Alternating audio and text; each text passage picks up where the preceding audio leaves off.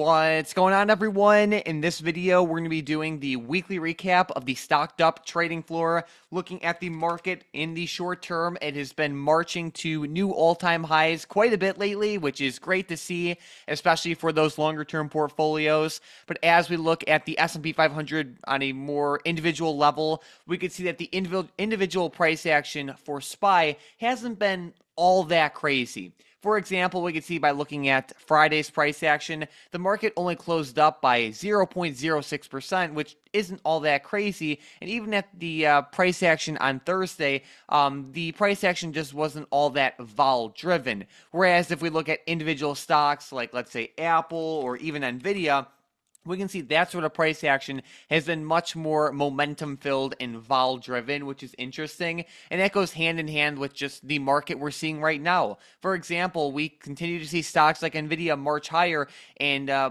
provide a lot of bullish support for the market as a whole whereas when we look at the S&P 500 it is more flat than anything else. And on Friday around 70% of the market actually fell. So that tells you quite a bit that there's a lot of uh, you know money flowing into certain areas like big tech and AI right now. Whereas when you look at other areas of the market you know considering 70% of the market's down it shows you that money is kind of flowing out of those areas which is an interesting thing to keep in mind. But as we get into this week's recap, there have been no new swings lately. There was one new hybrid play with Qualcomm on Friday, and it wasn't all that. Looking at Qualcomm, um, it was uh, showing some weakness intraday on Friday, but that true bearishness never came in to see a true flush with the stock. So that one wasn't all that. But as we look at the trading stream, the high the surge plays haven't been like anything all too crazy as of this past week and uh, you know it just goes hand in hand with let's say the price action that we're seeing. Whereas if we look at some of the sm bot uh, plays there have been a handful of good ones. For example looking at coinbase in the short term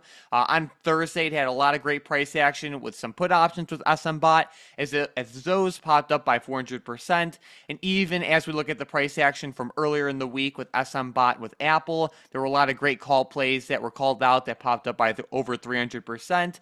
And even the day prior to that one, there were even more great Apple call plays uh, called out that rose by around 700%. So um, the price action has been very interesting lately. And, you know, we're really seeing just those few big tech and AI related stocks really carry the market, which is very interesting. But shifting over into the theta trade section, as always, shorting put options are one of the best strategies out there when done correctly. If you have a stock that you're fine owning for the long term and it's at a price or at least close to a price you'd be fine owning it at, selling put options is a great strategy as you literally get paid to potentially buy these shares at a low price. So as long as you're willing to hold that stock for the long term, um, this uh, type of strategy can be very advantageous. So definitely check that out. And if you need any help with it, feel free to tag Tom Hunter or myself in the trading floor, and we can definitely help you out. But besides that, thank you all so much for watching, and have a great rest of your weekend.